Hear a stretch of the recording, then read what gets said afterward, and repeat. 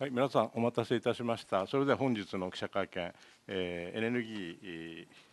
関する、3.11シリーズの一環ですが、えー、始めたいと思います。えー、ゲストをおいでいただきましたのは、え、豊田正和さんです。日本エネルギー経済研究所の理事長でいらっしゃいます。え皆さんご存知と思いますけれども、簡単に略歴をご紹介いたしますと、1973年に通産省に入られまして、えー官房総務課長、あるいは、えー、通政局長、通商政策局長ですね、えー、それからあ経済産業審議官、えー、要職を経られまして、えー、2008年7月退官され、えー、財団法人日本エネルギー経済研究所理事長に就任されたのは2010年7月というふうに伺っております。えー、本日は大変詳細なあの資料をもとに、えー、ご説明をいただきますので、えー、約1時間ぐらいお話をいただいてその後 Q&A ということにさせていただきたいと思います。どうぞよろしくお願いいたします。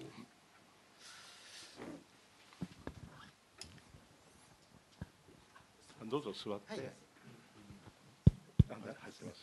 えご紹介いただきました、え日本エネルギー経済研究所、え豊田でございます。えー実はあの今日お話を、えー、させていただくことをあの、えー、決めさせていただいたのは7月の中旬ぐらいなんですけども、えー、9月の27日ならば、えー、エネルギー基本計画が決まってるだろうということでお受けをしたんですけれども ご案内のような状況でございましてあの日本、えー、私自身の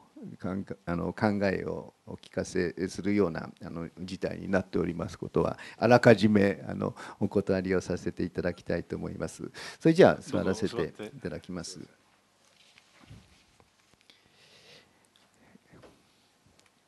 あのお手元にも紙があのあるかもしれませんがあの、えー、このスライドの方と両方あの、えー、使わせていただきながらお話をさせていただきます。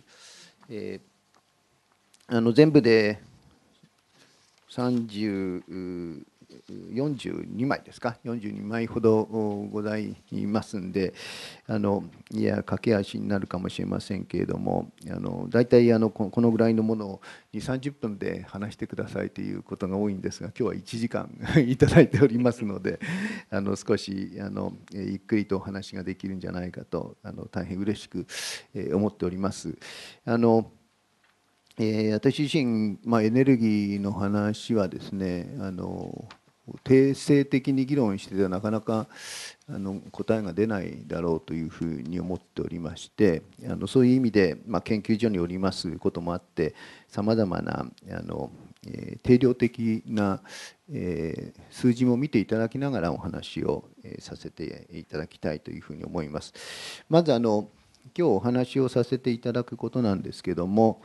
まあのえー、目次2ページと3ページにあの目次ということでございます。細かいところを見ていただくというより大きな流れだけご紹介をさせていただきますと、まああのえー、エネルギー基本計画自身はまだ決まってないんですけれども9月14日に国家戦略室で、えー、作りましたあの革新的エネルギー環境戦略というのが、え、エネルギー環境大臣会合で、え、合意がされて、え、発表されております。でそれをあのざっとお話をさせていただいて、え、実はこれを、え、9月18日ですか？9月18日のあの、え、経済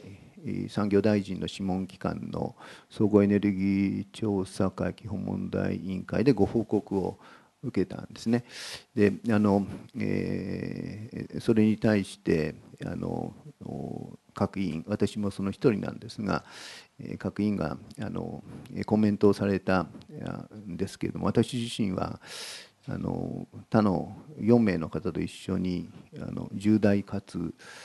深刻な懸念があるというご意見を申し上げておりましてその理由を今日お話をさせていただくという意味で、まあ、主要な懸念点が、ここで5つほど、整理がされております。まあ、日本経済が空洞化してしまうんではないか、えー、不安定な地政学情勢の中でエネルギー安保は確保できるのか、え、地球温暖化への対応は十分できるのか、まあ、再生エネルギーへの期待は大きいんですけれども限界が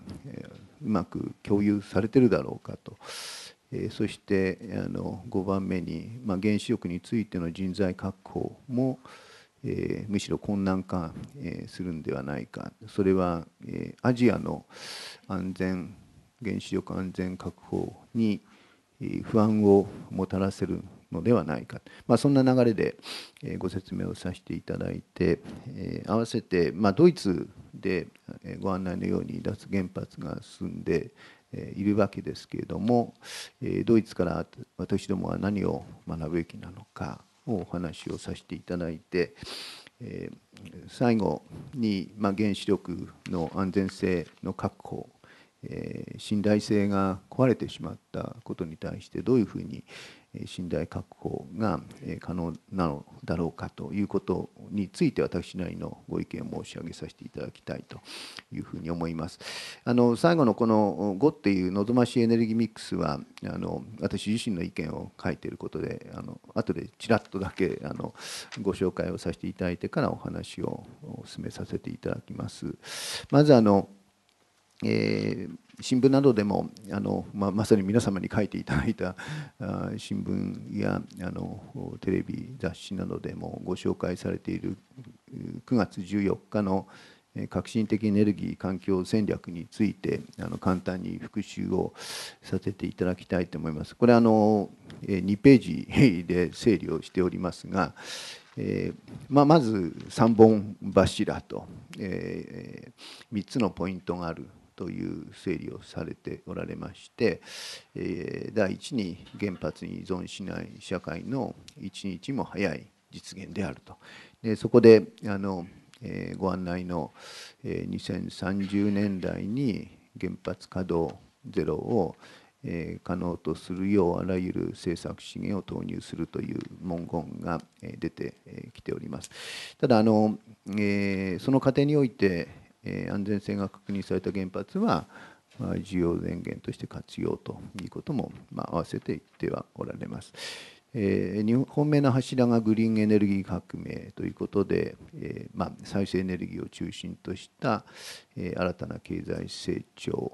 の実現について、え議論を展開しておられます。3つ目があのエネルギーの安定確保、供給確保ということで、まあ、化石燃料、こ熱的利用というのはあの今回非常にクローズアップされた、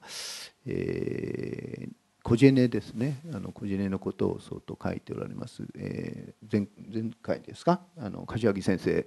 お詳しいあの柏木先生来られたように伺っておりますけれどもあの、えー、それを書きましたのが3番目ということでございます。でその他にあの電力システム改革のお話あるいは、えー、地球温暖化対策の話も、えー、書いておられます。であの地球温暖化対策については数字が出ておりまして、えー、赤いところですけど2020年の、グリーンハウスガスは、えー、90年比で5から9%削減と、まあ、2012年に向けた、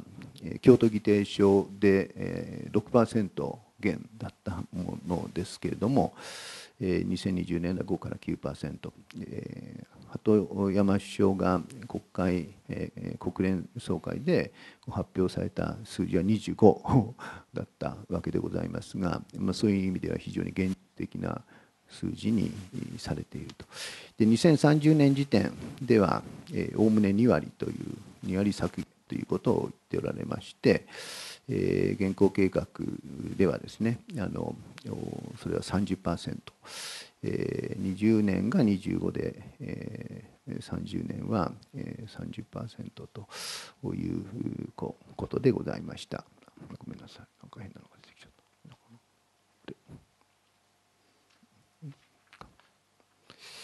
た。あれ？動かなくなっちゃった。しゃったでしょ すいません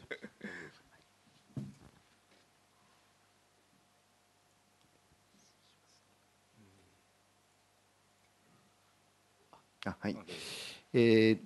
後半の方のあれでもなんか変なこうネットワーク接続っていうのはどうしてもこれ変ですね。キャンセルをしないのかな？キャンセルをしてなんかメモリーがちょっと足りない雰囲気ですね。ああらら。大丈夫ですか？あれ？これが出ちゃうサイバー攻撃に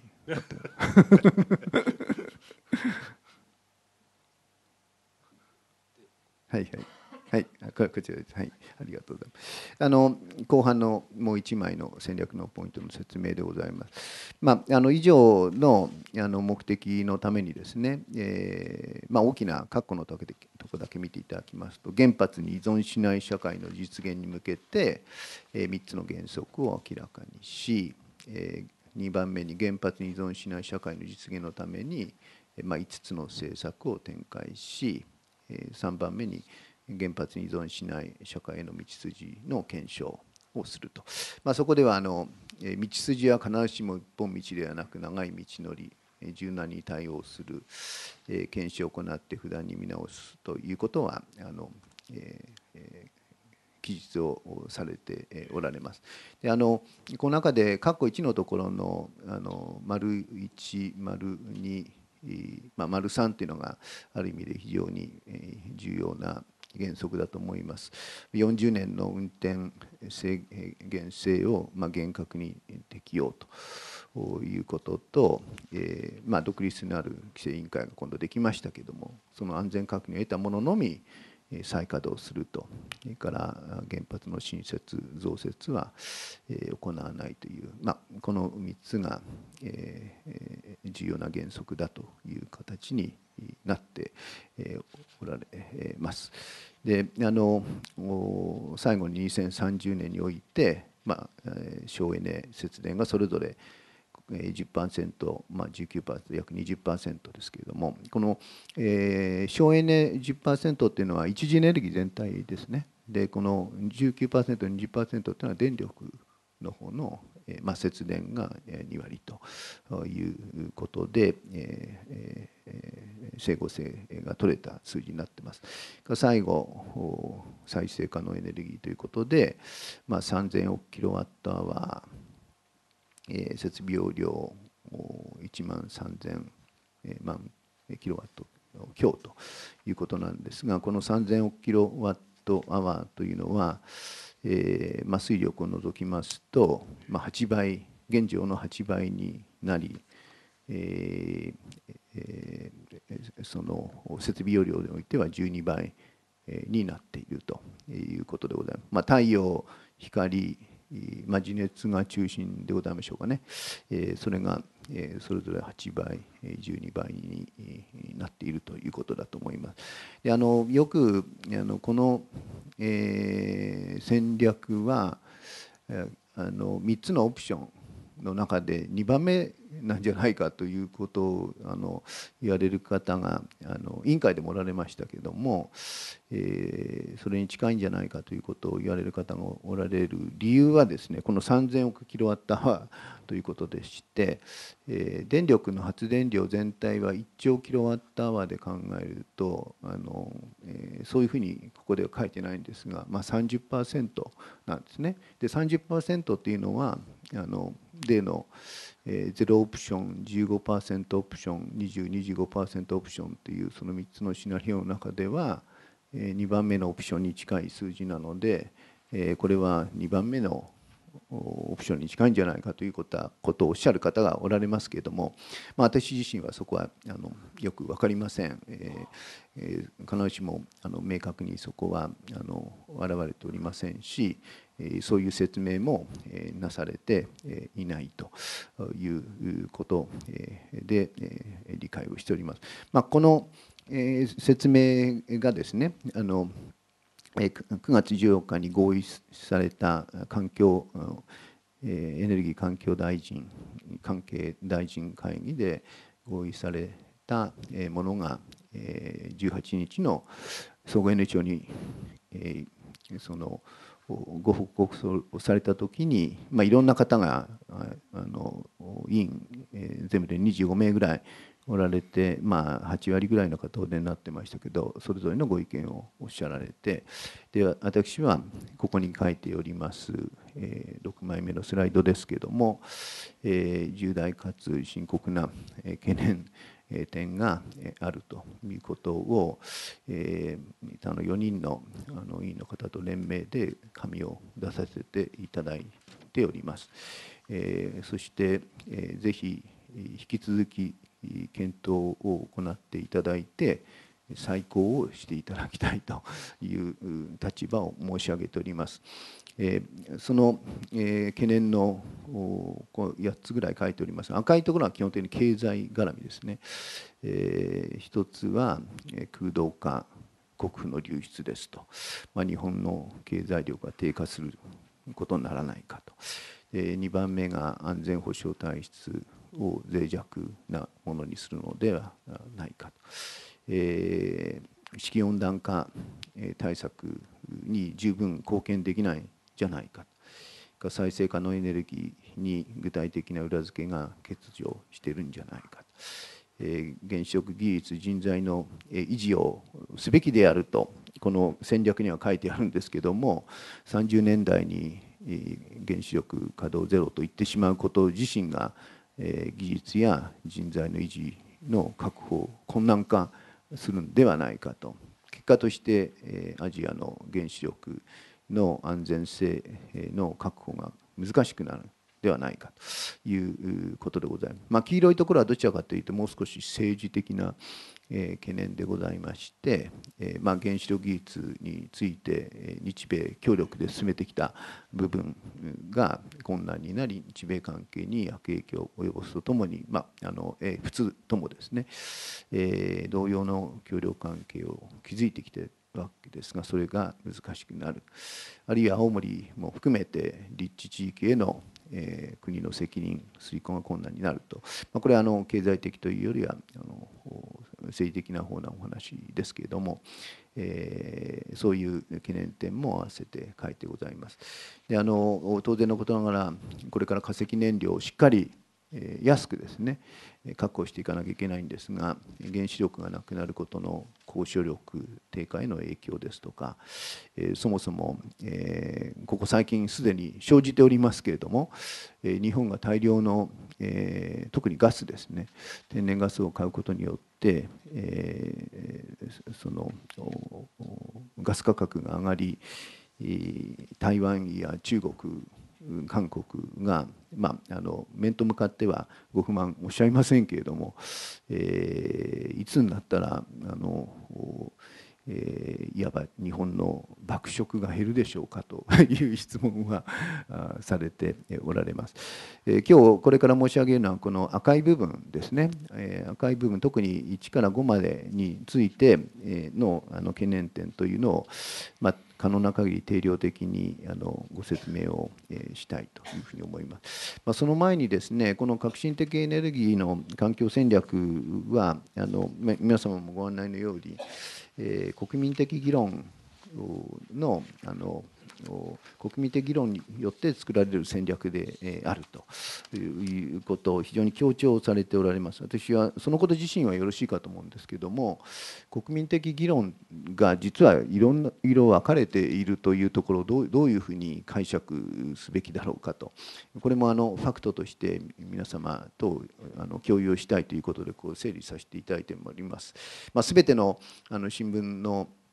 あるいは放送のあの世論調査を上げるわけにいかないんで主要なものにさせていただいているとかお許しいただきたいんですけどもこの左上の世論調査ですね、まあ、基本的には一番新しいものだと思いますが8月の中旬から下旬にかけて行われたものですけどもこの、まあ、原子力ゼロと言っておられるのが一番下のまあ、なんて言うんでしょうかね。これは橙色っていうんでしょうかね。15%シナリオが、えーまあ、ピンク、えー、20から25と言っておられるのが、まあ、緑ということで考えていただくと、えー、実はゼロと言っておれこれは2030年がゼロですね。って言っておられる方が、えー、マジョリティとは必ずしも言えない状況だと思います。であのただえー、いろいろあのお話を伺うとこのゼロシラ、えー、15%シナリオの中には、えー、ゼロを思考している方が入っておられるということで、えー、その方を足し算するとゼロが、えー、大半であるというそういう整理のようでございますが、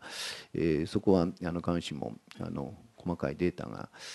共有されているわけではないので私の方からご説明することは監視もできませんがこれが一つのファクトですね。であの新聞であるいは放送でよく出てこられる討論型世論調査で議論を深めれば深めるほどゼロシナリオのこの大々色が増えてるんですよというのがこの右下の図でございまして、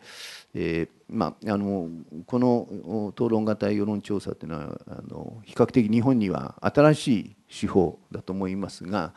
えー、まあ、あの読者あるいはオーディエンスの方があの、えー、理解をすればするほどゼロが増えるということが、まあ、一つの、えー、国民がそちらに向かっているというあのえー、一つの称賛にあの使われているであろうかというふうに思います。ただあのご案内のように討論型世論調査の使い方についてはいろいろあの、えー、プロの方からあのご意見があるようでしてこれが本当にあの世の中を反映しているかどうかというのは、まあ、いろいろ議論のあるところだと思います。ただ私が今日強調したいのはこちらの方でして、えー、この矛盾する世論というふうに書かせていただいておりますけれども、まあ、経団連のアンケートと経済同友会の意見というのが、えー、ございましてもちろんあの日照のもございますが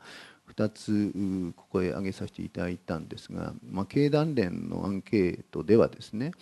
えー、そのむしろ、えー、20から25シナリオが、まあ、4割でして、そのうち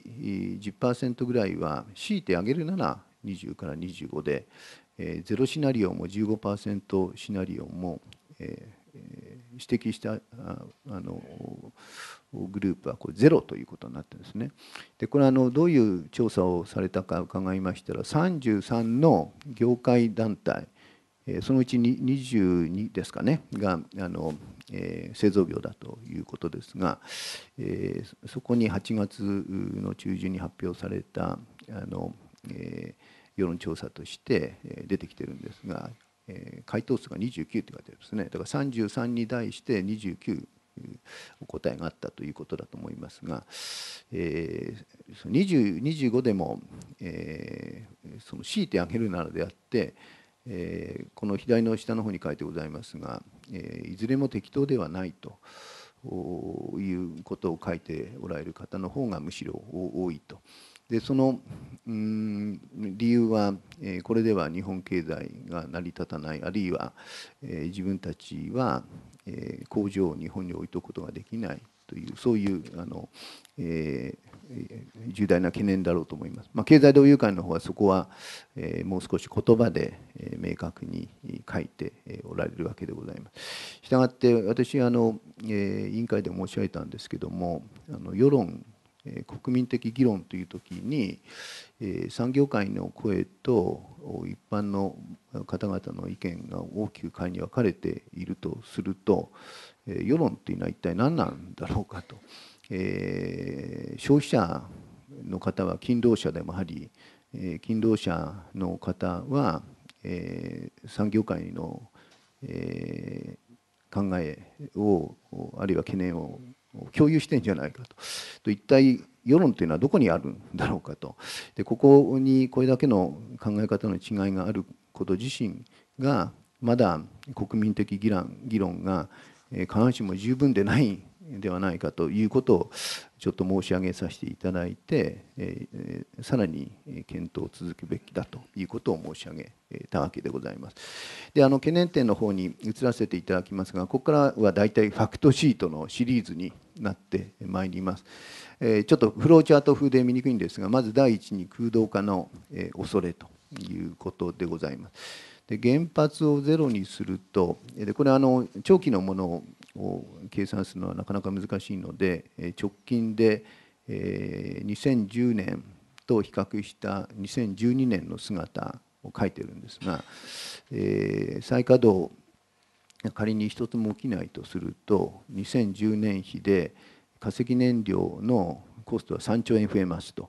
今1兆キロワットアワー、まあ、アバウトに計算すると発電量があるとすると計算簡単でして3割1で3円パーキロワットアワー上がりますと、えー、その時にあの、えー、家庭はほぼ20円、えー、企業はですねこれ小口も入れると大体1 5 6円パーキロワットアワーですねでこの3円上がるということの意味は15%上がり20%上がると。いうことを意味し、まあ、2割の電力代が上がるということを、まあ、あの産業界の方は非常に懸念をしているわけです。今まであの上がっている燃料費調整では全て上がっておりませんので、えその一部しか反映してませんのでこれから値上げ申請をしてこういうものがどんどん上がってくると収益そのまま低下するとすると2兆円近く収益が低下しこれを1人500万円の給与で割るとするとですね42万人が、すぐ失職するかどうかは別として少なくとも影響を受ける規模であると。で法人税が、えーまあ、5割弱だとして1兆円減少し、財政収支は悪化し、化石燃料が3兆円増える分で貿易収支は悪化していくという、まあ、この悪循環が、生ずるということを、まあ、一つ、えー、皆様と共有させていただければと思います。で経団連のアンケートを細かく見ると、まあ、産業界の懸念でですね、えー、国際競争力に与える影響ということで、えー、これちょっと字が小さくて見にくいかもしれませんが左の方はあのブルー上からゼロシナリオ15%シナリオ2025シナリオですがゼロシナリオの時に、えー、国際競争が大きく減少と答えている方が、まあ、業界が7割で、えー、その減少と答えている業界が2割だと。で雇用に与える影響を右を見ていただくとゼロシナリオでは大きく減少という方が、まあ、6割弱で減少と答える方が、え業界がま4割であるということからするとですね、まあ、ある意味で産業界の方々の、懸念というのは、まあ、一般国民の懸念でもあるはずだというふうに思います。これはあのご説明するつもりはありませんがあの今後の議論コストの議論をする時の一つのあの、まあ、今標準的素材になっている12年、え失礼去年の12月に発表された、えコスト等検証委員会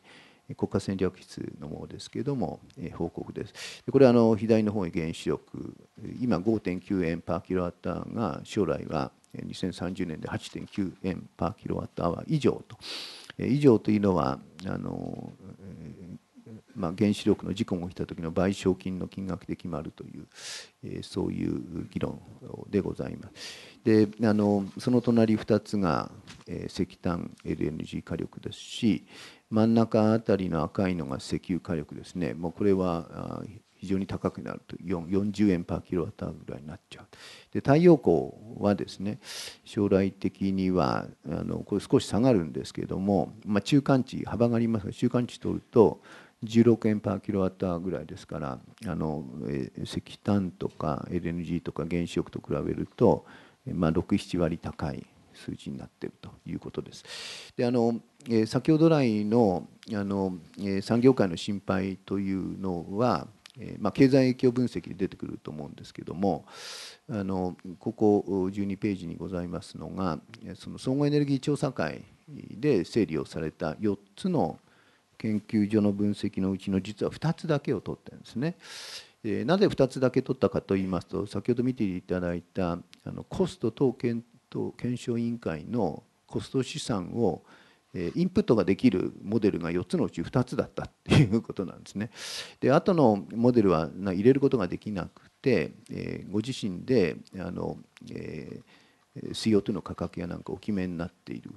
ものだと、まあ、私自身はですね今回の経済影響評価をするときにこのコスト検討小委員会の試算を入れないものを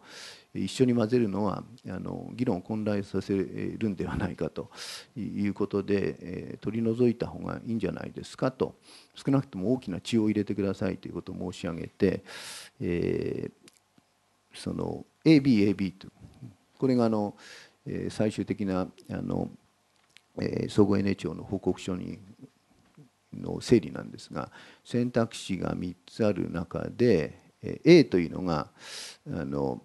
コスト醤油を入れられた2つの研究機関 B というのが入れられてない研究機関と2つに分けてもらったんですね。でじゃあ A だけを取るとどうかというのがこれでして12ページでして選択肢1という原子力ゼロですと、えまあ、2つの機関が両方とも、えほぼ電気代倍になりますよといっているわけですね。であの、えー、選択肢3点が20か25%それでも 5, 5, 5割から6割ぐらい上がりますよということを言っています。で GDP は左に書いてあるように、えー、やはり原子力ゼロですと非常に大きく出ているわけでございます。で産業界が、まあ、ある意味で悲鳴を上げるようなあの重大な懸念というのがこの電力代が2倍になれば、まあ、日本で工場は維持できませんよねという率直なところだと思います。であのえー、エネルギー環境会議の資料なんかはあの実はこの4つの研究所の数字が一緒に混ぜ混ざっておりまして非常に、えー、あの分析しにくいので私はわざわざわざこうやって分けた方を使わせていただいております。まあ、皆様もそれの方が傾向がよくお分かりだと思います。えこのコスト検証委員会の数字を使わないとですね全く違った方向の結果が出たりしているもんですから議論がこんがらがあるので私はあの明確にこう分けて議論すべきだというふうに思っております。もう一点あのえー、空洞化絡みであの数字を見ていただくとこれはちょっとページ数が2つほど飛びましたけれども国府の流出という言葉で言われているものです。で国府の流出というのは、まあ、燃料代が高いがゆえに、えーまあ、日本国からえー、産油国産ガス国に、えー、まあ言ってみれば所得が分配されるという概念ですけども私もこれ整理してみてあのびっくりしたんですが、えー、これ左の下の方はですねあの過去のあの実績をその国富流出という概念で整理してみたんですね。でどう整理したかというとあの現、えーまあ、45年間ぐらいの原子力の歴史があるわけですがえー、その45年間で約3割弱ぐらいまで原子力が増えたものを全て火力発電でやっていれば、えー、一体コストがいくらぐらい上がったでしょうかというそういう計算です。で火力あの過去45年間でですねウランの費用というのは5兆円なんですね。であの火力燃料は39兆円なんです。でしたがって原子力発電をしなければ39マイナス、まあ、あの5兆円で約33、えー、兆円4兆円の、えー、規模の、国費の流出があったということが言えるんではないかと思います。でそれを右の方の上はこれは何を意味しているかというとですね今後原子力がえー、再稼働がなかなか進まなくて、えー、ゼロに近いものだとするとですね、え、これだけあの燃料代が、えー、増えていくんですよという数字です。でここのちょっと尺度が違って見にくいんですけども過去10年間原子力がなかった時の国府の流出の規模はですね約14兆円ですね過去10年で。でこの右の上の方を見ていただくと5年で13兆円ですね。で、えー 20, えー、10年で24兆円出るという、まあ、この規模感をあのちょっと見ていただくために用意をさせていただいたということです。まあ、国の流出というのも非常に定性的に言われることが多いので、えー、数字で見るとこんな規模になるんですと、えーまあ、24兆円というのを、まあ、500兆のあの GDP で割って意味があるかどうかは別として規模感ではその程度のものだということだと思います。でこれあの、えー、2012年ですね次のページ2015年は、えー、また貿易収支は赤字だろうと、まあ、今年ですね、えー、いうふうに私どもは見通しておりますが、えー、その、えー、出張が、えー、ごめんなさい、えー、赤字のうちのですね、えー、約4兆円のうちの3兆円近くが、えー、この化石燃料の、えー、増大分というふうに考えていただければいいというふうに思います。規模感ではそういうものでございます。次にあの2つ目の懸念ですね、これはどちらかというと地政学的なあのお話ですが、結果的には、えー、あの原油価格やガス価格に響いてくるものですが、えー、もう皆様ご案内の不安定化する中東情勢ということでございます。であの7月からですね、イラン制裁というのが始まっておりまして、えー、今普通ですと270万 BD ぐらい、まあ、300万 BD 弱の輸出が、えーまあ、半減までいってないんですね、えー、4割減ぐらいになってきてだんだん効いてきてはいると思います。えー、そしてこの今後のシナリオとして、えー、1の括弧2の ABC というのがありますが、えー、イランが妥協して核開発をやめるかですね。イランがホルムズ海峡を封鎖して軍事紛争に進むか、えー、イランのウラン濃縮を欧米が認めて、えー、うまくまとまるか、まあ、このぐらいのシナリオがあるわけですが、まあ、今のところは B が一番懸念されてるんですけども実は一番あの今ワシントンで懸念されているのはこの ABC のどれでもなく D でして、えー、米も、えイランも、えー、どういうふうに判断するかにかかわらずですねイスラエルが、えイランを攻撃するんではないかということです。それはあの、えイスラエルにとってみると、えイランが核兵器を開発する能力を作ってしまうと自分たちの存続に関わるということで全然別次元からですね、え、あのえ、まあ、いわばイランを攻撃をしそうするとイランがえそれに対抗してむしろ中東全体に火の手が上がるようなことにならないかというのを心配をしておられる方が多いと思います。でワシントンはですねこれはあのあるかないかではなくていつあるかという議論をされておられます。日本のあの皆さんのメディアでも時々あの、えー、書いていただいてますが私自身はこの、えーあるかないかではなくていつあるかという議論をもう少しあの、書いていただくと、エネルギー安全保障への、国民の意識があの高まっていくんではないかなと思います。で過去ですね、リーマンショック直前が147ドルが原油価格の最高値なんですけども、えー、この、まあ、いわば第三次中東戦争みたいなものが仮にあればですね、えー、場合によっては200ドルを超えるというような議論をする方もおられまして、まあ、ホルズ海峡を守る守らない以上の大きなインパクトがあるということだと思います。でこれはあの原油価格の動きですね。17ページですが、えー、左の方で一番上に上がったのがリーマンショック直前でぐっと147まで上がってリーマンショックでなんと30ドル近くまで落ちてですね。でまた徐々に徐々に上がってきて現在90これ WTI で見てますけれども923ドルのところに来てます。私どもはまあ100ドル前後が続くかなというふうに思っております、まあ、今年もですね100ドルを超えたこともございますし、まあ、まさに中東情勢というのは一触即発で原油価格というのはこのようにまあ非常に不安定な形で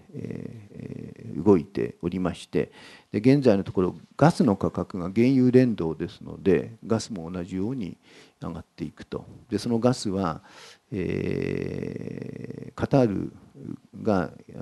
あの緊急的に輸出をしてくれておりますので今やホルムス海峡というのは4割近くまでなっていると。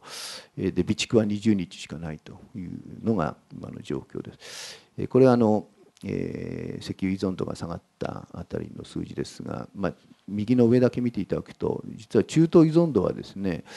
えー、石油依存度は少し下がったんですけども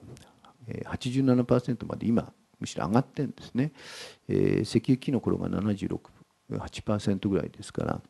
えー、その後あの費用中東の原油がどんどん枯渇していったんでこういうことになっていると。で額の下のエネルギー自給率というのがもうよくご案内だと思いますが4%というのが原子力を入れない時の日本の数字で原子力をまあ純国産エネルギーとして入れてようやく19%ということです、まあ、G8 の中で最も自給率の低い国だということでございます。まあ、シェールガスというのはある意味ではこの不安定な地政学的動向にとって、まあ、あの一つの巧妙であるんですけども、えーまあ、日本におそらく恩恵が来るのは、まあ、2015年16年以降だと思いますし一体どこまで出していただけるのかというのはまだよく見えないところがございます。まいくつかあのの、まあ、ユーザーと商社がえ確保しているところもございますけれどもご案内のように、え自由貿易協定がないと議会承認がいるとかですね ややこしい話もある上に、え最近聞くのはあの化学会社がせっかく安くなったあの米国の、えー、ガス価格が高くなるから、えー、輸出反対というようなことも言っておられますので、えー、簡単にあのたくさん出てくるという感じでは、えー、ない可能性があると思います。ちなみに数字はですねこの、えー、一番最初のあの黒ポツのえー、下の方に書いてある米国では今23ドル MMBTU アジアスポット価格1617というそういうオーダーですので、えー、ものすごくアメリカでは今下がっていると。ただ日本はなかなか原油連動なもんですから、えー、その恩恵を受けていないということでございます。でもう一点この不安定な地政学状況で皆様に見ていただきたいのは最近言われているアメリカのえ、エネルギーインディペンデンスというのはいよいよ実現しつつありますよということです。え、左が石油の依存度、まあ、欧州も同じようにインディペンデントになりつつあるんですが中東依存度が、え、石油ですともう2割ぐらいまで落ちてきていると。で今度シェールガスが出ましたので、え、もっと下がるだろうと。で天然ガスはそもそも米国は3%ぐらい23%しか中東に依存しておりませんのででこの、うん、シェールガスが出たことによってアメリカがエネルギーインディペンデンスのいよいよ実現をするとでそれが地政学的にですね中東離れをするというよりも中東におけるアメリカの関心が変わってくると。えいうことだと思います。まあ、これ今ままさにあのいろんな方がいろんな議論をされてますけれども、えアメリカにとってみるとエネルギーの確保のための中東政策からイスラエルを守るための中東政策に変わっていく可能性があるとそれは一体日本にとって何を意味するんだろうかという、まあ、非常に大きな議論でございます。であのえー私自身もですね中期的には北東アジアでエネルギーネットワークを作った方がいいというふうに思っておりまして、そのための絵をここに描いたんですけれども、えー、昨今の北東アジアの地政学的な動向を見るとですね、えー、検討は、えー、止めるべきではないと思いますが、まあ、簡単ではないというのはあのもう皆様ご案内の通りでございます。から地球温暖化の話ですけれども先ほど見ていただいたようにあの今回は、えー、大幅に、えー、そのターゲットの数字を下げてるんですけれども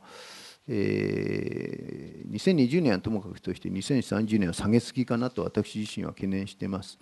でこれはあのうん国際交渉、えー、低迷してますけれども、えー、去年の12月の南岸のダーバンの COP17 でですね、えー、米国も中国もインドも入る、えー、枠組みを作ろうということで合意をし、いましたけれども、まあ、途上国、先進国との対立は相変わらず変わってないということでございます。で日本は、えーその京都議定書の第二約束機関っていう、まあ、あのちょっと硬い言い方ですけども要するに、えー、バインディングターゲット拘束力のターゲットを設けることには、えー、同意しておりませんが、えー、努力義務は負うということですので、えー、完全に外れたわけではない。それから2020年、黄色いところで書いてある2020年以降の、えー、議論はこれから深まっていくわけで、その時に日本は、えー、一体どういう立場で臨むのかと、えー、いうことを忘れてはいけないと思います。で次のページに書いてるのはそのあの流れですが2015年ぐらいまでに2020年以降の枠組みを決めるここでは米中印も入ったものにしてほしいということになってるんですが、まあ、日本の努力がどのぐらいできるかによって日本のあの、まあ、イニシアティブがどこまで取れるかが決まってくると。でこれはあのご案内の25%という鳩山総理が国連総会で発表された数字が一番上に日本としてありますけれどもえーまあ、EU は大きな削減をしていますが米国はこの程度ですし一体日本はどのぐらいやるべきなのかという議論は今後あると思います。ただ私自身はですね2000これがあの2050年までの削減の道のりなんですけれども2020年はあまり無理しない方がいいというふうに思いますなぜならばもうあと8年先ですし、えー、特に原子力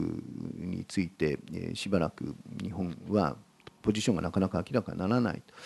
ただ2030年においてですねあのあんまり、えー、ターゲットを低くするのは、えー、国際的な議論の中に乗れなくなる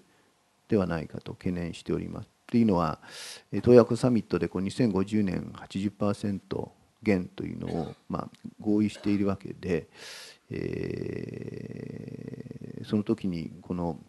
真ん中2030年のところの軌跡が、選択肢ゼロシナリオになればなるほど上に上がっていっちゃうということで、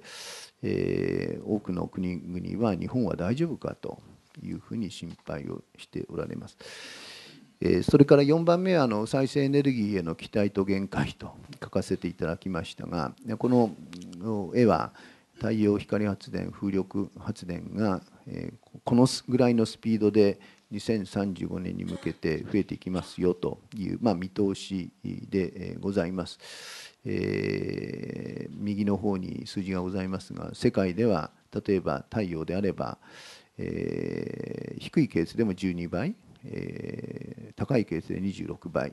アジアではそれが26倍と72倍というすごい数字になっておりますが、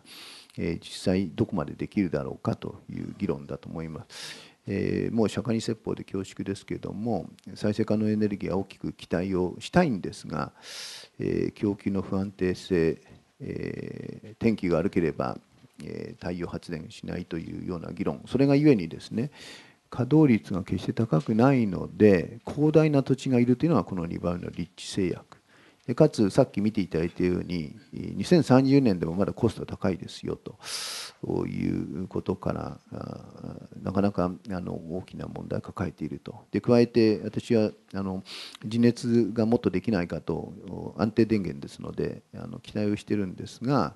まあ、環境規制と温泉ですね温泉圏の問題がここがうまく解決できるかということだと思います。えー、ちょっと先に行かせていただきます。で最近の話としてですねあの、えー、少しずつ新聞に出てきておられるんですけれどもあの30ページに行かせていただきますが実はその太陽パネルにあの関して、えー、だんだん貿易戦争になってきているというのを整理したのが30ページです。まあ、米国はですねあの多くの米国太陽パネルメーカーが中国製品に席巻されて、えー、今年の5月にすでに30%、31%ですけれども、えー、課税、ダンピング課税をしております。欧州もご案内のように Qセルズみたいな、えー、最大の会社が潰れたりしてですね、えー、9月の初旬に、えー、ダンピング調査を開始しております。で中国は中国で下の方に書いてございます米国製と韓国製太陽電池にダンピング調査を開始していると、まあ、日本は7月からご案内のように買取法案がいよいよ実行されてきているわけですけれども、まあ、急速に中国製品が入ってきていると。その時に米国と欧州でダンピング課税がなされていると、まあ、日本がまさに草刈り場になっていくわけで、えー、どういうふうになっていくのかとで太陽エネルギーに期待はしたいんですが、えー、雇用として期待ができるかどうかはちょっと別問題だということは、えー、認識をしておいた方がいいんではないかと思います。え、5番目があの、えー原子力についての安全性の懸念ですね。でその時にあの、えー、今見ていただいている31ページの、え、グラフと表はですねアジアの、え、原子力発電が今後20年ぐらいで、えー、まあ、えー、2倍とか4倍とかですね大きく増大をしていくということを言っております。あのえーまあ、カウントの仕方にもちろんよりますけど今大体あの日本を除くアジアに40機ぐらいの原子力原子炉があるとした時に2倍というのは80です4倍というのは160ですし160というのは今の54機の3倍でございますし、えー、ベトナムも含めてですね今後これだけ増えていき、えー、福島で国境を越えた被害というのがあることが認識された時にアジアの原子力の安全性の確保というのは非常に重要な課題であって、まあ、今回アメリカのあの懸念の一つですね原子力ゼロに向かう日本に対する懸念の一つがここにあって、まあ、日米であるいは日仏でですねあの、えー、協力して安全な原子炉をアジアに普及をしていこうというその努力ができなくなるじゃないかというのは一つの懸念であり、えアジアの安全が確保されないと日本の安全も確保されないと、えそういう時にこの人材や技術は一体どうなってしまうんだろうかということだと思います。で私自身はアジアの、え原子力協力というのを、えー、ぜひ進めるべきだと思ってまして一定の枠組み、まあ、これがあの EAS なのか APEC なのかというのは議論があるところだと思いますが、えこの協力の内容にあるようなですね、まあ、一番下に人材と書いてございますけども安全スキームの構築自身あるいは防災危機管理も含めて、えー、一定のあの協力をしつつ標準化していくことが必要なんではないかと。でその時に、まあ、日本は原子力ゼロに向かっていくということであればですね、まあ、こういうイニシアティブも、えー、取りにくくなる人材がそもそもいなくなるということだと思います。でドイツですが、まあ、ドイツの教訓ということであの2つだけ申し上げたいんですけども、え、ドイツは脱原発はできるのかと。でこれはあの、えー、ドイツはやるだろうということをあのヨーロッパの多くの国の方はおっしゃいますけれども、えー、ただあのこれはあのすごく面白い図なんですけどもそのなぜドイツはできるかもしれないと思うかというとですね、えー、輸入をすればいいと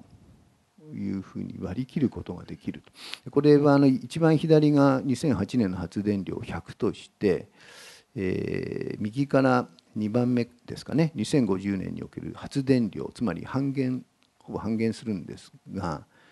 これはあの RWE というドイツのあの大手の電力会社の試算なんですけども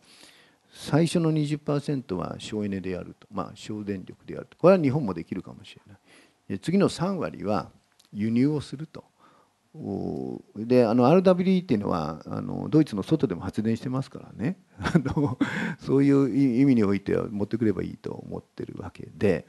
えー、そして、えー、まあ多くの場合、え、輸入先はフランスになるだろうというふうに見ているあるいは周りの国はどこの国も大体原子力やっておりますので、えこのネットワークというものを抱えているドイツというのは、まあ、率直に言って日本の参考にはならないと私は思った方がいいと思います。でもう一点これがあれですね細かい系統電力ですがドイツの需要量の10倍のネットワークが周りにあるドイツはだから日本の一つの県みたいに考えていただければ分かりやすいというふうに思います。もう一つのあの教訓がこれでして、えー、過去10年間でですねあの、えー、買取法案といいますか、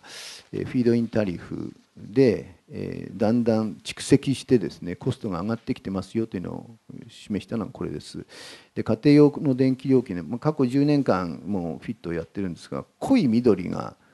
えー、あのこのフィットの反映ですねだんだんだんだん蓄積してますんで、えー、2011年では家庭用ですとこの折れ線グラフのですね14%はこのサーチャージ分ですし産業用だと25%がサーチャージ。でここで悲鳴が起きてきてもう今大幅に買い取り価格が見直されてきていると。でスペインではもう凍結しちゃいましたからこれ以上進まないというふうに言われております。であの結局この再生可能エネルギーの問題点は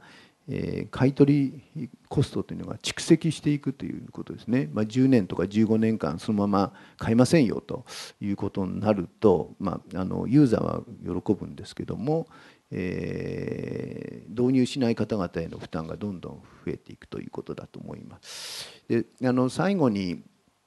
原子力の話をするのはいいけれども安全性についてはどう思ってんだと いうふうに皆さん思われると思いますので、えー、整理させていただいたのがこの原子力の安全性の信頼確への道というものです。まずあの主要国の原子力政策をちょっと整理してみました。1の丸1、1の丸2のグループはえー、推進派ですね。で一貫して推進であまり揺れてないのがアメリカフランス、まあ、ウクライナとこれ実はチェルノブイリがあるわけですが、えー、韓国中国と。でまああの一度はやめようかなと思ったけど引き継ぎやってるのがイギリススウェーデン、えー、です。で揺れ揺れ動きつつ脱原子力っていうのはドイツですね。ドイツはご案内のようにメルケル首相になって数年して推進に舵を切ってでまた、え今回の福島後、え脱原子力に向かっているわけですが、まあ、この多くの、え国はですね引き続きやろうという方が多いと思います。それはなぜかというと、えー、一つのキーワード安全保障であり一つのキーワードが気候温暖化ということです。でしたがって日本に対してはこの2つは大丈夫なのかというのを、まあ、多くの国はえー、通ってきているということです。これがあの、えー、EU、米国、日本の比較ですが、えー、ピンクのところが原子力ですが、まあ、EU はドイツがどうなろうと今、まあ30%弱が、えー、原子力になっていてトータルとして見ると、まあ、こういうバランスだとで日本はこの時にピンクがゼロになっていけるんだろうかということだと思います。でこのあの、まあ、そうは言っても事故起きたではないかと。さまざまな事故調査委員会の報告書が出ました。であの外国の方とお話しすると、えー、非常に申し訳ないけど日本だから起きたというふうに思ってるところはあるんだよと。だけど日本だからえー、収束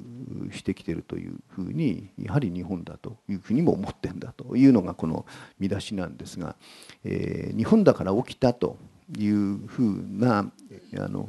お考えを持つ人の最大の理由が、え、独立性のある原子力安全機関がないという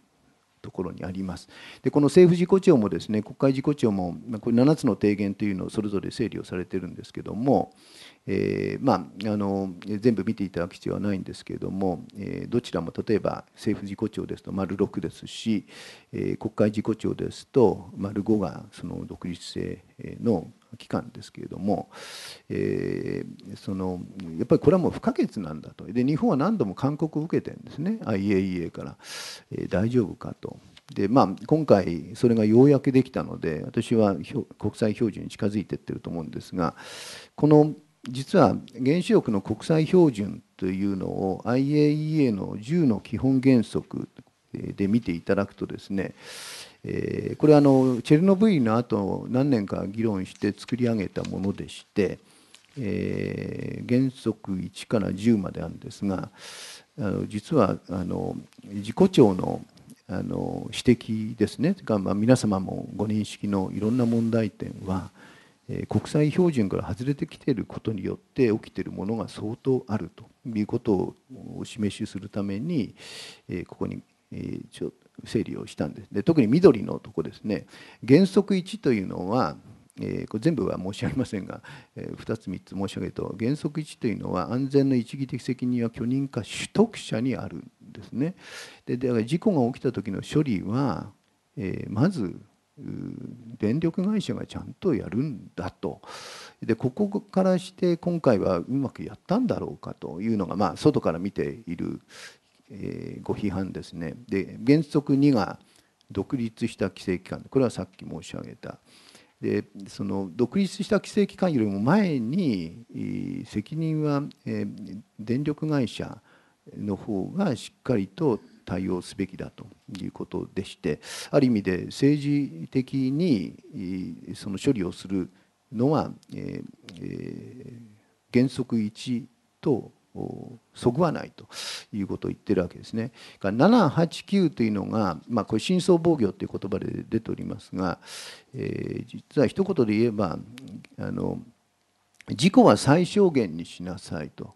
ただ事故はゼロにはならないとで重要なのは放射線リスクから防御することですと言ってるのが7でありそのための、えー、手段を作りなさいと言ってるのが8でしてで緊急時つまり事故が起きた時の対策を考えておきなさいというのが9番ですね。であのここ数日あの新聞見せていただいててあの、えー、田中委員長がですねまず防災対策防災対策と書いて言っておられるので私は正しいと思うのはこのまさに原則9なんですね。あのえーまあ、事故は絶対起きちゃいけないだけどそれは安全神話を持っていてもしょうがないんで、えー、緊急時対策とのやりなさいというのは実は原則9に書いてありまして、まあ、その他もお時間のある時見ていただくと、うん、この、ね、日本は確かにあの標準からだいぶ外れてるなというふうに思われるんじゃないかと思います。私あの自己庁のですね報告書を読ませていただいて、えー、どうやって解を見つけるのかという時にこの国際標準に戻るのが一番いいというふうに思いましたでしたがってここをちょっと強調させていただきます最後にですねこの原子力の最後にこの賠償スキームの話を一言だけ申し上げます。えー、その原子視力ここちょっと字が小さくて恐縮なんですが大半の推進国はみんな有限責任です。でそこは理屈がありまして、えー、大体があの独立性の高い機関を持っていて非常に厳しくチェックしているのでそれでも事故が起きるならば政府も責任があるっていうそういう頭の整理ですね。で従ってあのアメリカが一番その有限責任の限度が大きいんですがこれ1兆円ですね。1機100億円かける100機104機ですけど、えー、1兆円で、限度があるわけですけどもその理由は厳しくチェックしてるんだから何かあれば一定以上は国が責任をシェアするのは当然だというそういう頭の整理ですね。もう一つはですね、まあ、これはいろいろ議論があるところだと思いますけれども、まあ、ファクトとして彼らが言ってることを言えば事故が起きた時に、えー、すぐ賠償してあげるのが当然だろうとでそのためには株主代表訴訟にさらされる企業ではなくて、えー、国が出ていくのだと、えー、それはパブリックアクセプタンス上当然だというそういう誠意ですね、まあ、これあの今後おそらく12年で大議論になっていく話だと思いますが私自身は、えー、有限責任論者ででございます。であの最後になっちゃいましたけれども、まあ、皆さんご存知だと思いますので私申し上げますので私は、えー、25%ぐらいは必要だと いうふうに思っているつまり、え、オプション3をえー、支持しているものですがその理由は、えー、この S プラス 3E という観点から、え、エネルギー小国日本に完璧なエネルギーはないと、え、ポートフォリオリスクのあるエネルギーばかりだから、え、組み合わせるしかないという、まあ、視点と、え、先ほど見ていただいた経済影響評価を私どもの研究所なりに計算をして、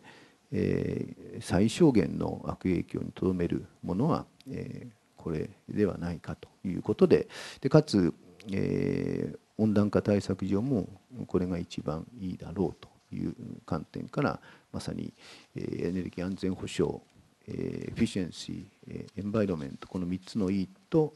えー、安全性は先ほど来の国際標準に戻るということで、えー、対応ができるのではないかということでオプション3を指示をしておりますと。いうことを申し上げさせていただいてあとはあの皆さんのご意見やご質問いただければ幸いでございます。あのご清聴ありがとうございました。どうもありがとうございました。それではあの Q&A のセッションに移りたいと思います。申し遅れました企画員のこの申します。えー、私からあの2つほどまずお尋ねをしたいと思いますが、あ1つはその、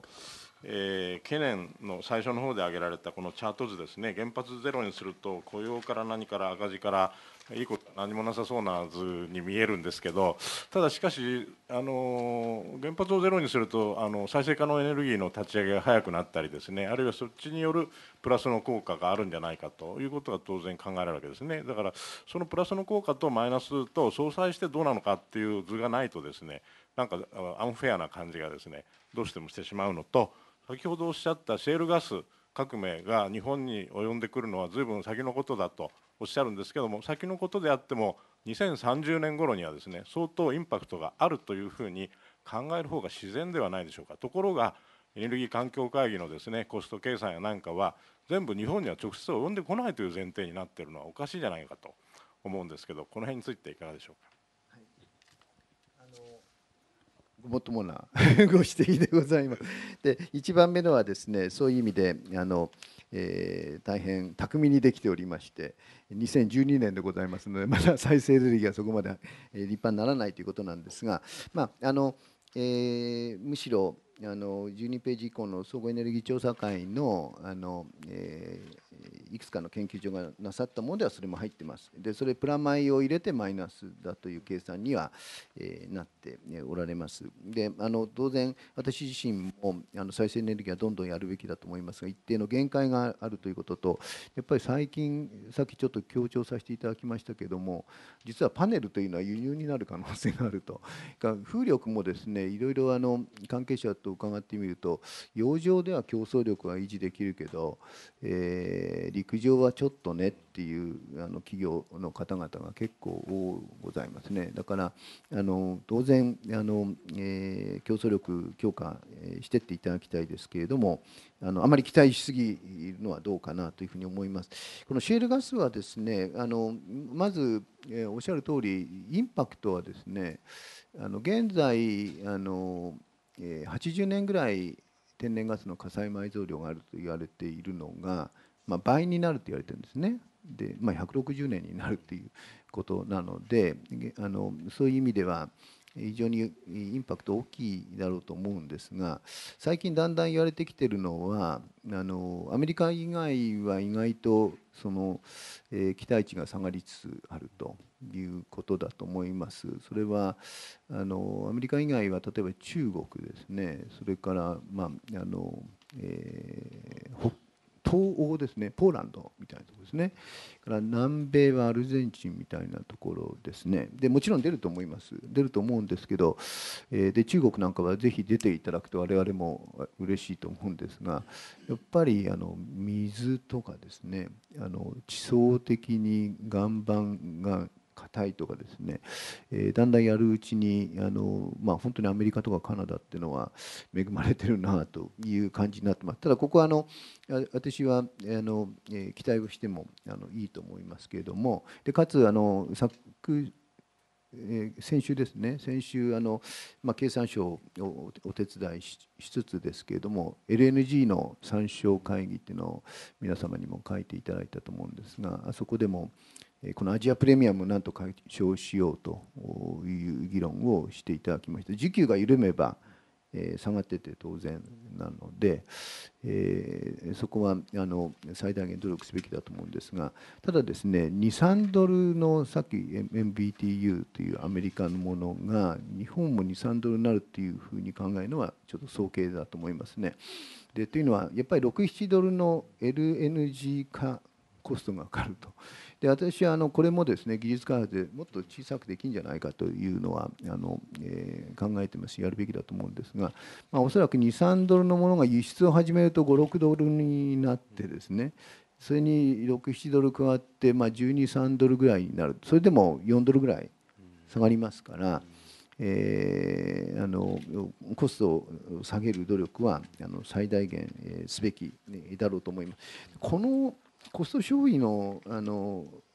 天然ガス火力の、えー、時にそのシェールガスそしてアジアプレミアムをどこまで計算しているのかすみません。私もあの確認しておりませんがあの、えー、少しは下がることは考えていると思いますがものすごく大幅には下がってないかもしれません。そこは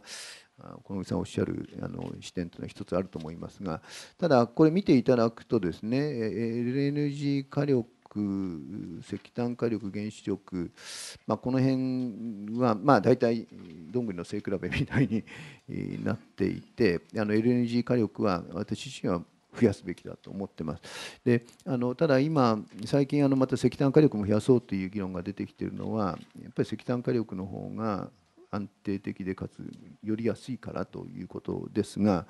えー、温暖化大丈夫なのという議論がありますので私自身はあのここもポートフォリオ的視点で LNG 天然ガスもどんどん増やすべきですし、えー、ただそれを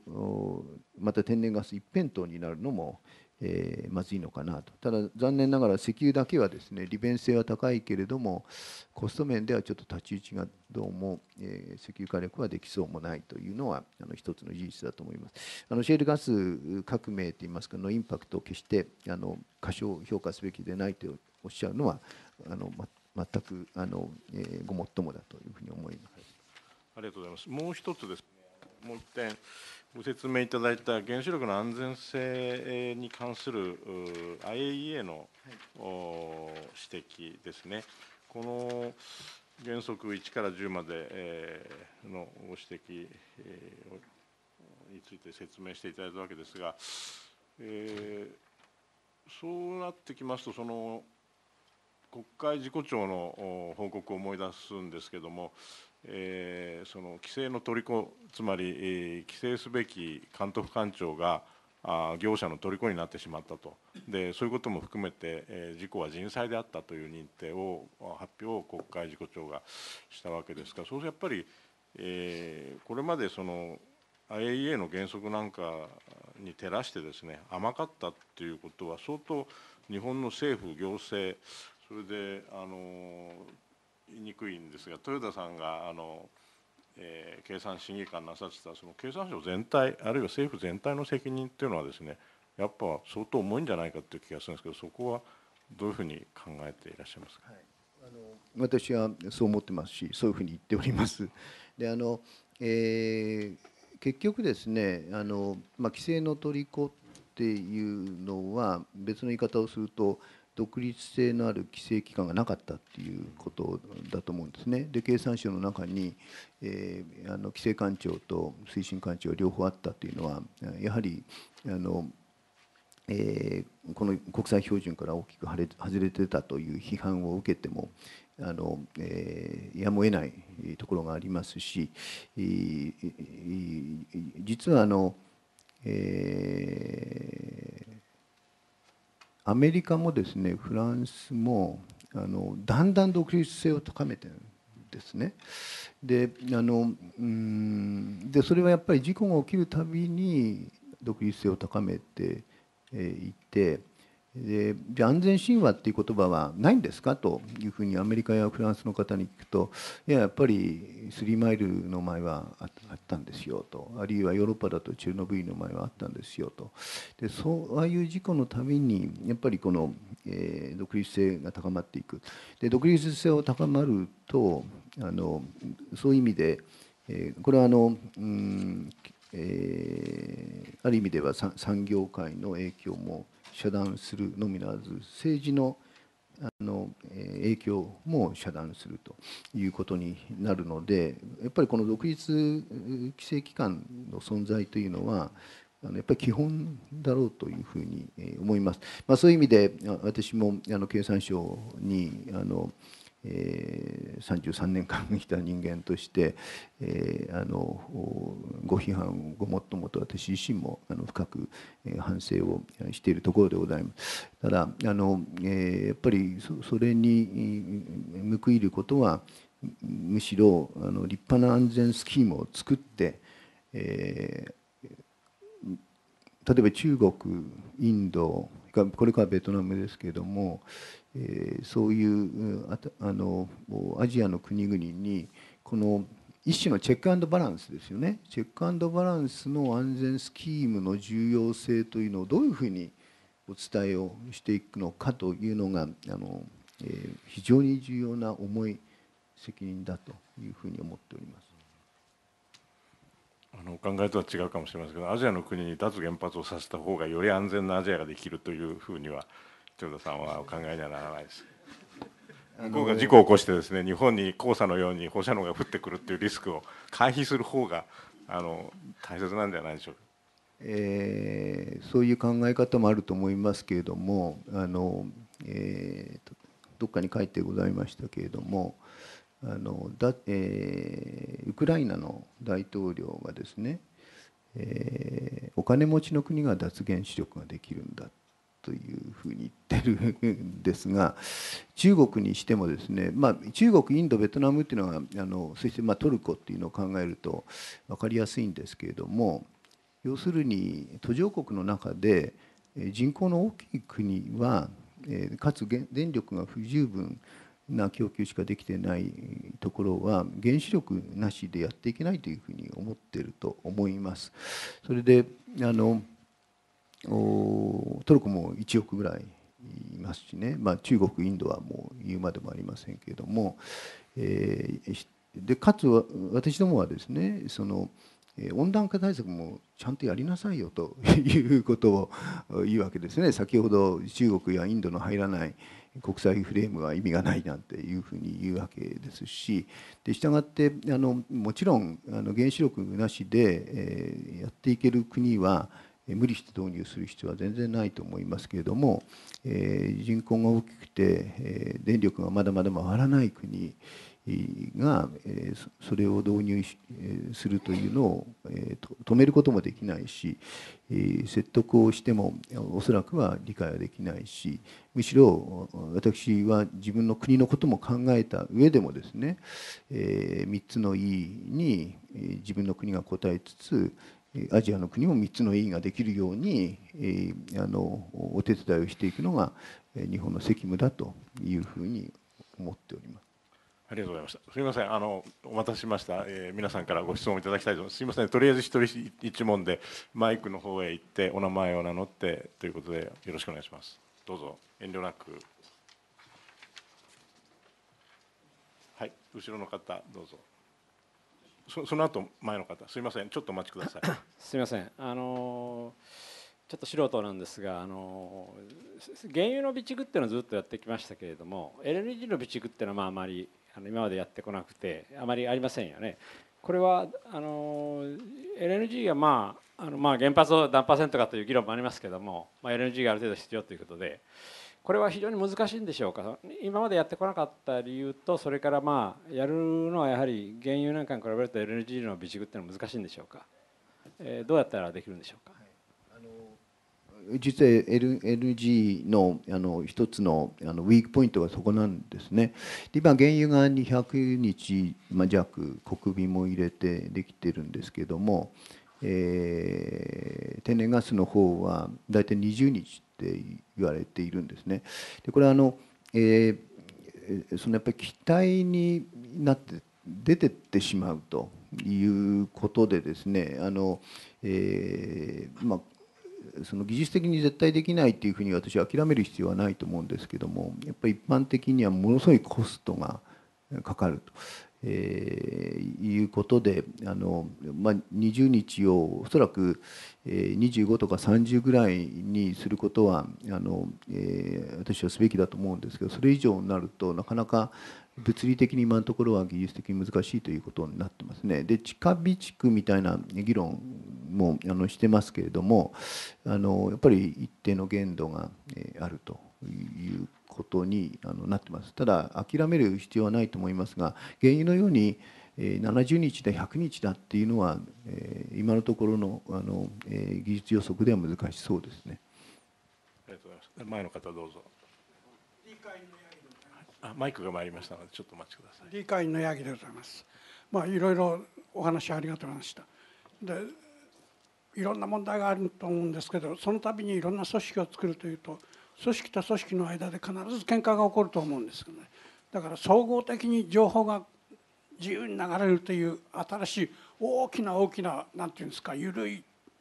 だけどもよく情報が流れるというそういう組織を作らなくちゃいけないんじゃないかと思うんですが一つ教えてください。ご指摘の点はエネルギー政策に限れませんですよね。あのえーまあ、今回新しい組織があの確かに委員会あるいは原子力、えー、規制庁安全規制庁という形で、えー、できたのは事実なんだと思うんですけどもあの、えー、その私自身はですねあの、えーまあ、例えば分かりやすいのはそのシンガポールがいい例だと思うんですけれどもあのある一定のあの、えー、経験を積んだというか、まあ、年齢に達したあのその役員の方々をもっとあのぐるぐる回した方がいいと。であのえー、シンガポールはあんなに小さな国ですけどもものすごく密度高く都市計画をしですね、えー、あのサービス産業から製造業までいろんな発展をしてるんですけども、えー、縄張り争いはままずないと本人たちがはっきり言ってますよね。でそれはあの私のカウンターパートだったあのえー、まあ、えー、MTI って呼んでますからその、まあ、あちらの経産省通産省みたいな人の時間は今財務省の時間をしてますし、えー、あのついこの間までそこで APEC 担当の局長をしてた人が今シンガポール、まあ、日銀総裁みたいなものですね、え、をなさってますし、まあ、そういう一定のレベル以上の方々は、まあ、フランチャイズが完全にいなくなると。私もあの、えー、経産省のあの若い人たちと話す時に、まあ、一定のあの年次以上はそうしたらどうかと思うけどどう思うかって言ったらいやいやそんな一定の年次なんて言わないでくださいなんて言っててますしやっぱりそういう時代が来るんだと思うんですね。今回のあの一つの不幸はですねまあ私はこれはエクスキューズにはならないと思うんですけどもなぜ保安院が経産省の中にあって原子力行政を全て安全のところをあの見てしまったかっていうと、えー、橋本行革の延長なんですね。だからなんかくっつければいいという話でもないと、まあ、鍵長と経産省にまあ分かれて加えて原子力、え、あの安全委員会があって3つもあってっていうことの批判がまあ集約化した結果こうなったんですけども。だから行革自身の問題は先ほどのチェックアンドバランスというそういう点からちゃんとあの見ておかないといけませんし組織を作った時におっしゃるようなどうしても縄張り争いができて無駄な行政をすることについては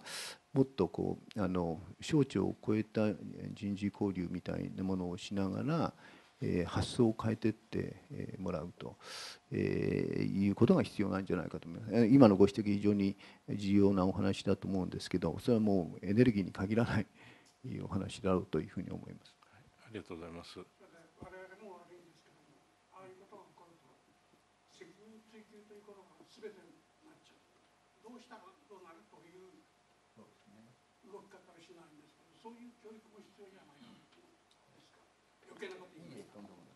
どうもありがとうございました。えー、他のさらにご質問いただきたいと思いますが、はい、女性の方どうぞ。マイクをお持ちします。あの AP 通信の山口と申します。よろしくお願いします。あのえっとこのこの話の中にちょっと出てこなかったんですが、あの核燃サイクルの問題というかあの再、えー、再処理問題あるいは使用済み燃料のあの問題がちょっと気になったんですけれども。あの、まあ、結構その使用済み燃料も溜まってきているということでこれをその、まあ、安全が確認されたらば原子力はまあこの他の再生可能エネルギーなんかがまだあの見劣りするということでこう少し動かしていいのかというふうに仮に言ったとしてもあの現状のそのバックエンドの問題がありますのであの例えば25%ぐらい稼働するということがこう物理的に可能なのかっていう疑問がちょっと私はあのあるんですけれどもその辺のことはどういうふうに すみませんお考えになりますか？はい、あのバックエンド非常に重要だというふうに思います。であの、まあ、再処理直接処分っていう、まあ、そういう議論があるときにあの少なくともえー、高レベル廃棄物を可能な限り減らしていくという観点からあの、えー、再処理技術は、まあ、重要であるということだと思うんですけれどもあの、えー、日本みたいに、まあ、土地が少なくて、まあ、エネルギーそのものが小さい時に、えー、その技術的に完成しないという意味がありませんけれども、再処理をしていく、それを全てするかどうか、ま、議論になるところですけれども、一定の再処理をすべきだというふうには、私自身も思ってます。で、あの問題はですねあの、え、技術的な完成度の問題だと思うんですね。であのまあ、今回あのガラス交換にうまく進みつつあるというふうに聞いておりますので、え、大いに期待をしてるんですけれどもあのえバックエンドのところは一言で言って私はあの、えー、相当国際協力で進めるべきじゃないかというふうに思ってます。安全性についてはこの規制委員会でまたやりますからねあのむしろ技術的な部分についてはそれから国民の理解を得ていくところについてもやっぱりあの国際協力で進めるべきじゃないかというふうに思います。例えば再処理はまあ、フランスはもう完成してるわけですよね。であの、まあえ今、え、日本もうまくいくんであれば大変結構だと思うんですけども、えー、フランスの技術を使うことだって考えたらいいと思いますし、えー、あの処分場最終処分場についてはあのフィンランドはもう、えー、建設ほぼ完成してますよね。であのえー、気質の構造が違うということはございますけれどもやっぱりどうやってフィンランドは、えー、国民のコンセンサスを作っていったのかということについて彼らの知見も学ぶべきですし彼らが作った処分場に加えてど何が例えば地震国日本には必要なのかということもよく学んだらいいと思いますし、まあ、ご案内のようにユカマウンテンでアメリカがうまくいかなかったことも含めてですねそれぞれの国があの、え悩んでいるのも事実なので、えむしろあの、え成功した技術成功した経験を、え共有をしていく、え姿勢がいるんじゃないかっていう気がします。日本は、まあ、ある意味であの強い自信を持っていたからだと思いますけどもどっちかというと自前主義できていたところがありますが、まあ、特にあのバックエンドのところについてはむしろ国際協力をもっと前面に掲げて進めていったらいいんじゃないかというふうに思ってます。ありがとうございます。えー、さらにご質問どうぞ。少々お待ちください。マイクを渡します。えー、個人会員の長谷川と申しますが、えーと、311によって、えー、多分劇的に変わったのはあの日本人の省エネの意識だろうと思うんですね。えー、私もその昨年夏ちょっとデータを取ってみたんですが、えー、1年前と比べて、えー、あの電気消費量を25%減らすことができましたしこれは大した苦労なしにね。だからこれは20%ぐらい減らすのはわけないだろうと思ったんですね。一つはまあ LED の普及ですね、それからまあ省エネの電気機の普及ですね、それに加えてまあこれから考えますとやはり消費税アップそれから社会保険料の増加とかいうことを考えたらもう自動的に一種の重しがかかってるようなもんであのどっかを削らざるを得ないとすると非常にあの光熱費なんていうのは取っかかりやすい、えー、それにあの日本のやっぱりメーカーは大したもんで、えー、LED なんかにしてももう日進月歩ですね。ということですからあの個人の家庭の電気消費量は私はもう極めて劇的に減るだろうと思ってで今年の夏、え、原発ストップでもですねできたのは実はこれが私は大きいんじゃないかというふうに直感してるんでこれは直感ですから、ね、えそれからまあじゃああの産業企業産業の方はどうかというと、えもちろんこれだけコストが大きくなってるんですからその努力は必死でやるでしょうし今あの事業所を新設したり改装したりするときにですねやっぱり省エネを考えない企業なんていうのはおよそありえませんよね。でやっぱり LED 使えば相当な光熱費を節約できるわけですから、えー、ですからこの、えー、豊田さんのこの、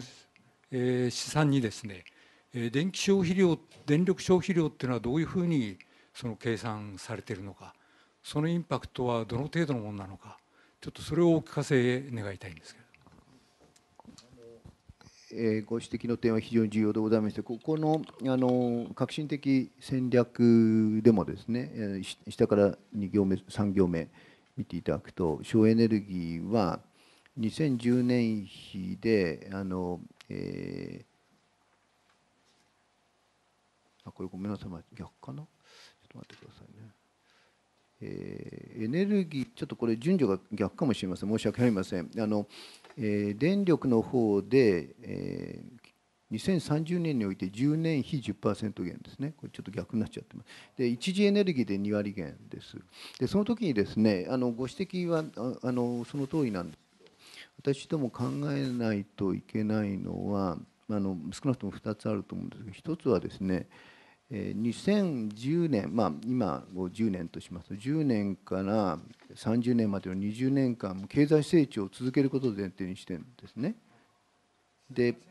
えーまあ、そこはですねあの議論があると思います、ままさにあの、まあ、マイナス成長じゃないかっていうことをおっしゃる委員の方もおられましたし、えー、ただ、ここはですね約1%ぐらいの成長を続けるという前提で、あのまあ、などういう言葉でしたですかね。あのえーまあ、1.5%ぐらいのと1%ぐらいのと、えーまあ、0.5%3 つぐらいのケースの中の1%ぐらいのを取ってんですね。であのそうすると、えー、あの男性値を一定とするとやはりこう2割ぐらい上がるわけですね。あのエネルギー GDP も上がりますけれども、えー、あのエネルギー消費でも上がると。でそこから20%あの現状から20下げるというのは実は4割下げるっていうことなんですね。だからマクロ的に見るとこの19%の約20と考えていただくと20下げるっていうのは結構なあの大きなことを考えておりまして。であの、えー、今回の報告書にはあまり詳しく書いてないんですけどもえ7月に国民的議論をする前にあの、えー、国家戦略室が出したものあるいはあの基本問題委員会が出したものでは相当いろんな措置も書いています。でしたがってあの一点申し上げたいのは成長して下がってるものですからあのインパクトはもっとこれ以上に大きいというのが一つです。それからもう一つはあのご指摘のように私自身はですねあの産業界に特に工場ですけどね生産プロセスにあまり無理してあの省エネをしてもらうとコストが上がってしまうので競争力に影響してしまうのであまり無理はできないと思うんですが家庭と輸送とそれからまあこういう業務って呼んでるあのところはえー、過去20年でも全然下がってないんですよね。あの工場のところはほとんど横ばいかちょっと下がってるけれども家庭も輸送も業務もみんな増えているので、えー、そこはまだ贅肉があるだろうというふうに思いますだからここの20というのは相当程度そっちの方からえ来ていると。ただあの、えー、じゃああの2010年比半減できるかっていうとさっきこのドイツ見ていただきましたけどドイツも50年までつまり40年かけて20%しか考えてないですね。だからあの、まあ、どこまでできるかっていうのは議論がどうかと思いますけれども、え最大限やるにしてもあの、え一定の限度はあるだろうと。そこから先はコストの、え議論になってしまうので、えあの今回は一次エネルギー、まあ、ガソリンとかそういうものも全て入れて2割電力で1割下げててただそれは成長を考えるとおそらく4割から3割下がってるというそういう数字でございます。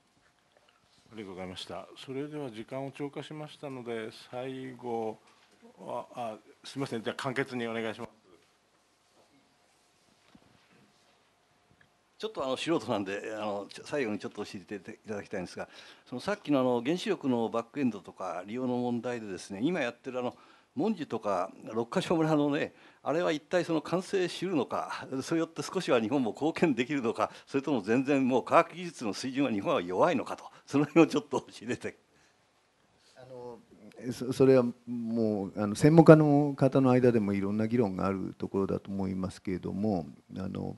えーまあ、文殊以外にも高速増殖炉についていろんな技術があるのも事実なんですね。であのだからあの、まあ、フランスと日本のも違いますし今韓国がやろうとしてるのも違いますし中国がやろうとしてるのも違いますし